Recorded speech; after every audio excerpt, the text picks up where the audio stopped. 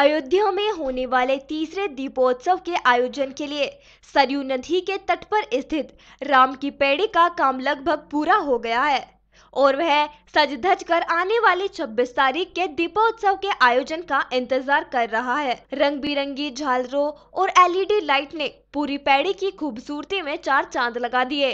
आपको बता दें कि इसी राम की पैड़ी पर मुख्यमंत्री योगी आदित्यनाथ पाँच लाख इक्यावन हज़ार दिए जलाएँगे, जो कि एक नया विश्व कीर्तिमान होगा।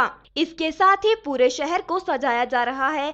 सभी सरकारी भवन और पार्कों की भी साफ़ सफ़ाई कराई जा रही है। वहाँ पर भी झालरे इत्यादि लगाने का काम दिन रात चल रहा है। शहर की सभी सड़कों की मरम्मत एवं डिवाइडरों की रंगाई पुताई कराई जा रही है।